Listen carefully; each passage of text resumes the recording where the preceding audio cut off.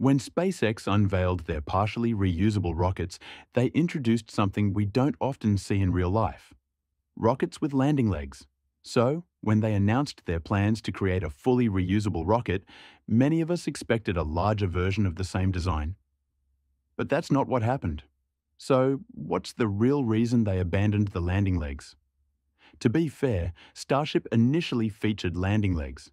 In fact, SN-15 was the first Starship prototype to successfully complete a flight and land safely with the use of these legs.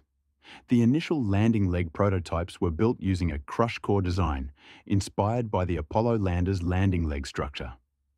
This design features progressively larger holes drilled down the length of the leg, with more metal concentrated toward the top. The crumple zone starts at the base of the legs, absorbing impact as the force increases, requiring more energy to crumple further up. While the legs often sustain damage and deformation after each test, this was expected.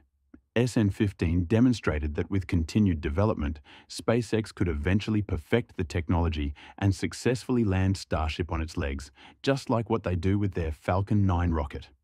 But we all know SpaceX abandoned these legs to develop a new method, which is to catch the ship using the launch tower. The name is Mechazilla, an impressive integration tower standing over 140 metres tall. It consists of steel truss sections, a lightning rod at the top, and a pair of mechanical arms capable of lifting, catching, and recovering the booster. These arms are mounted on a carriage and are controlled by a pulley system located at the top of the tower. The pulley is connected to a winch and spool at the base via a cable. Using the winch and carriage, the arms can move vertically with support from bearings on the carriage's sides. A linear hydraulic actuator enables horizontal movement of the arms. At the top of the arms are tracks that help position the booster or spacecraft. Additionally, the tower is equipped with a quick disconnect arm that extends to and retracts from the Starship spacecraft, performing similar functions to the quick disconnect mount used for the booster. The idea is simple. Mechazilla's two giant arms would clamp and catch each floor of the Starship as the ship returns, eliminating the need for landing legs. Naturally, when people first heard about it, many were skeptical about the feasibility of catching a massive vehicle like Starship in midair. Well, until SpaceX did it on their first attempt. Of course, it's incredible that SpaceX is able to pull this off. Every time I watch those massive arms latch onto the booster, it feels like something out of a sci-fi movie. Pure epicness. But the question is, why, after a series of already proven landing methods, did SpaceX choose to go with this completely new approach? Is it all just for the theatrics? To understand this, let's see what Starship would look like when it lands on its landing legs. The first thing to keep in mind is that both Super Heavy and Starship are absolutely massive, about the size of 20-story buildings. To support their immense weight and withstand the shock of landing, the landing legs would need to be even larger and heavier. We're talking about a significant weight addition. For context, the Falcon 9 booster weighs around 25,000 kilograms, and the landing legs alone at about 2,000 kilograms, around 8% of the total weight. Starship would require even bigger legs and possibly more of them, perhaps six instead of four. Even if SpaceX, known for its innovative engineering, can make them as lightweight as possible, that's still a hefty amount of extra mass. And to support the weight of Super Heavy, those legs would need to be incredibly strong, meaning they'd likely need to be even sturdier and, in turn, heavier. What about landing on a drone ship like the Falcon 9 does? Well, that would require some seriously extensive landing infrastructure. The landing platform often takes a beating from the rocket, but with Falcon 9, it's not a huge issue because it's not an incredibly powerful rocket. Super Heavy, however, could cause significant damage to the drone ship during its descent. And then there's the risk of things being kicked up and potentially damaging the booster itself. Even if the landing goes smoothly without any damage, reusing the drone ship would take considerable time, as it would need to be transported back from the sea before it could be used again. There is another method that SpaceX is still using regularly with its Dragon spacecraft, which is parachute landing. Again, Starship is really heavy. Super Heavy weighs around 200 metric tons, which is a massive difference compared to something like Crew Dragon, which slows down using parachutes and weighs around 12,000 kilograms. Parachutes wouldn't make much of a dent for something that large. Plus, parachutes are relatively imprecise. They're fine for landing in a broad area, but they aren't ideal for a pinpoint landing at a launch pad. And let's not forget, parachutes are heavy, which means they'd only add even more mass to an already enormous booster, something SpaceX would want to avoid. Weight reduction is definitely a key factor. But what Elon always emphasizes about the Mechazilla method is the real game changer. It gives Starship the ability to be rapidly reused. That quick turnaround is a huge advantage. The concept behind the rapid reuse of Starship is all about eliminating the need to refit the booster between launches. The goal is to perform basic checks, refuel it, and have it ready for another launch.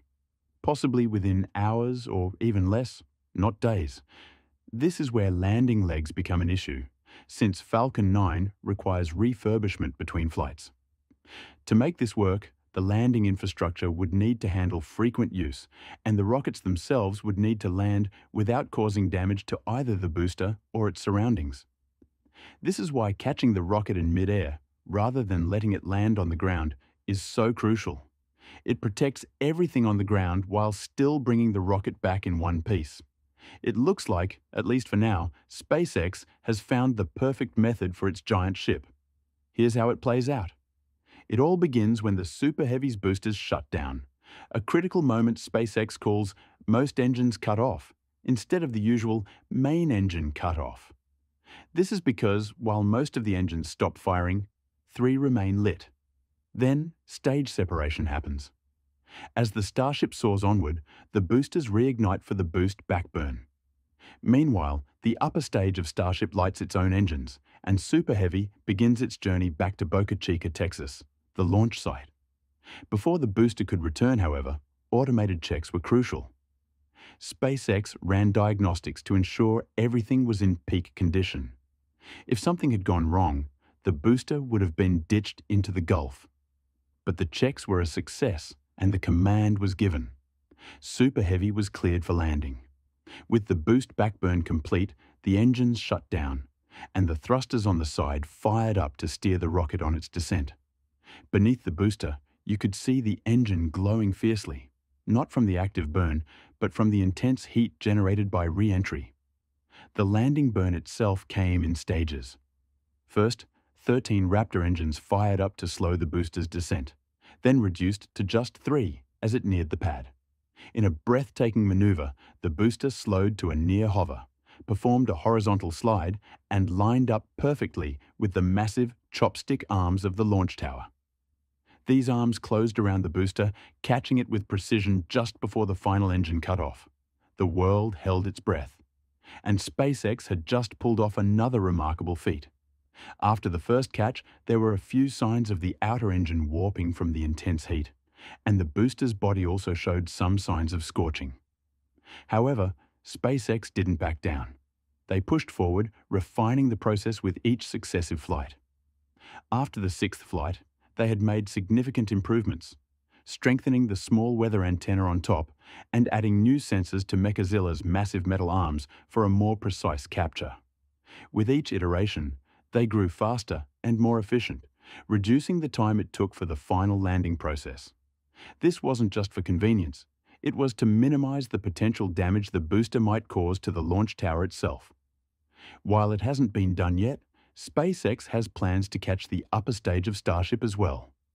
The catching pins have already been installed on the ship, and once SpaceX resolves the challenges with Starship Vive 2 and confirms that the spacecraft can safely land, they're ready to move forward.